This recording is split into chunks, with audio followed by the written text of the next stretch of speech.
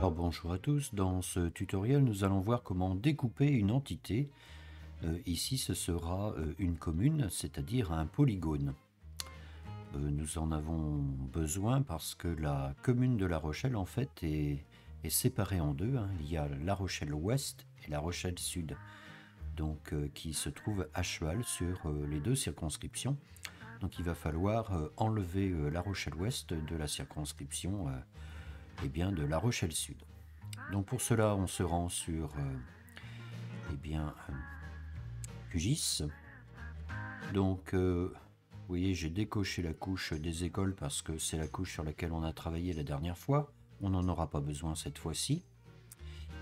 Et ici, j'ai ma couche commune qu'il va falloir euh, séparer ici, hein, couper en deux, de façon à n'avoir plus que eh bien, la partie sud et non plus euh, eh bien, euh, cette partie-là qui ne fait pas partie de La Rochelle, euh, La Rochelle Sud.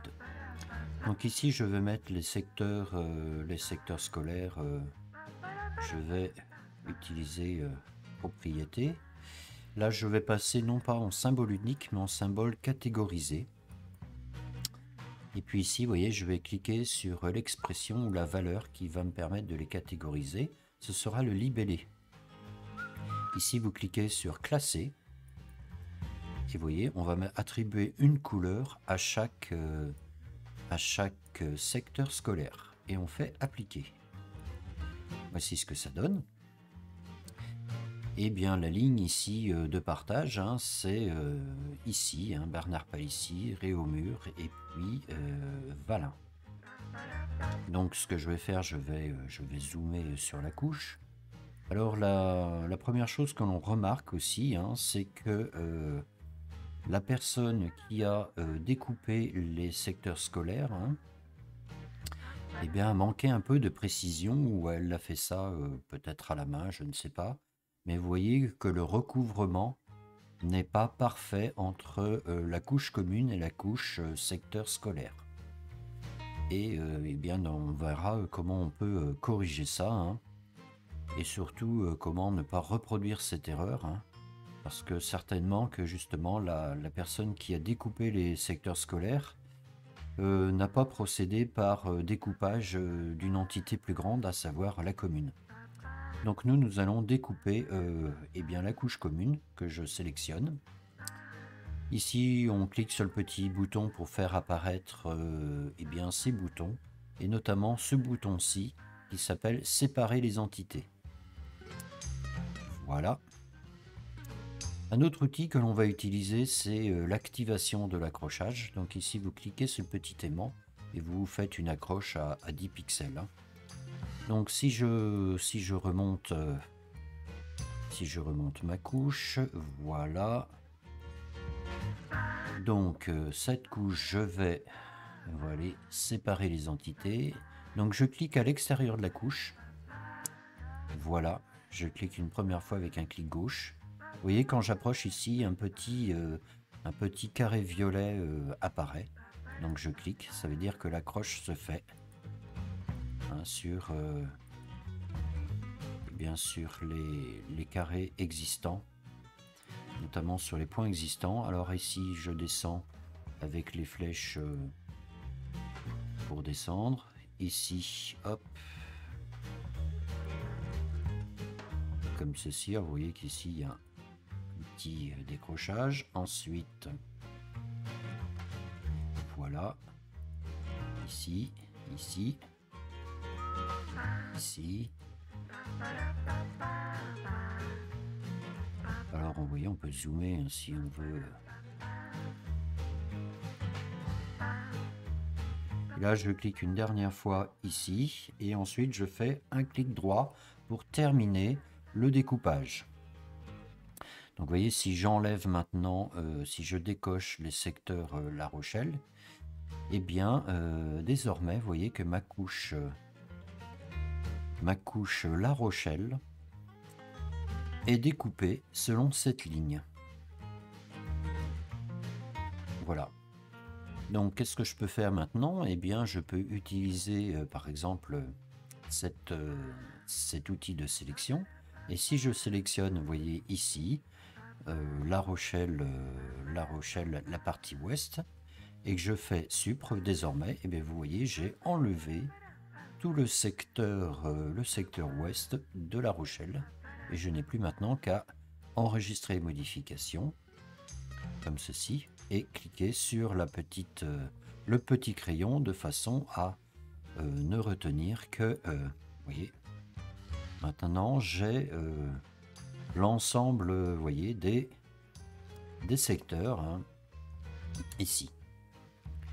Donc ce que l'on peut faire aussi, c'est que je vais décocher, je vais zoomer et je vais, euh, voir comment c'est découpé. Hein. Alors, et parfois rectifier également. Donc en fait, vous voyez que ça suit la rue suis la rue. Donc ici, vous voyez, je suis la rue. Ensuite, je descends. Ici, alors ici, vous voyez, ça manque de précision. Parce que visiblement, euh, ça ne passe pas à travers les maisons. Hein. Ça devrait suivre cette ligne-là. Donc ce que l'on va faire, c'est que l'on va modifier, modifier la ligne. Donc on active le petit crayon. Et puis là, nous allons utiliser euh, cet outil hein, qui s'appelle l'outil nœud.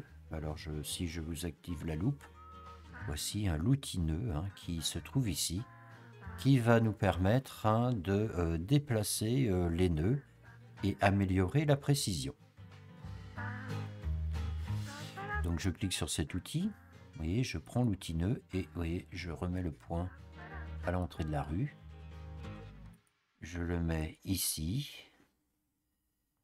Voilà, je zoome ici, je vais le mettre ici. Voilà. Si je vais voir plus loin, qu'est-ce que ça donne? Voilà, donc ici on suit le chemin des remparts. Euh, le chemin des remparts. Et visiblement, hop, voilà. C'est ici. correct. Donc quand on a fini, eh bien, on clique sur le petit bouton, enfin, le petit crayon pour enregistrer les modifications. Hein. Vous voyez, ça y est, on a, euh, si je remets les couches, hein, voilà, on a, euh, alors évidemment, hein, euh, comme on a fait ici cette petite modification, mais c'est une correction, on s'aperçoit effectivement que les secteurs scolaires ici sont pas très bien découpés en fait. Donc si vous voulez pas avoir ce, souci quand vous découpez une entité en sous-entité, il faut partir de l'entité la plus grande. Par exemple ici, si on avait à, refaire euh, les secteurs scolaires, eh bien il faut partir de l'entité commune et puis on découpe en fait l'entité en sous-entité. Voilà.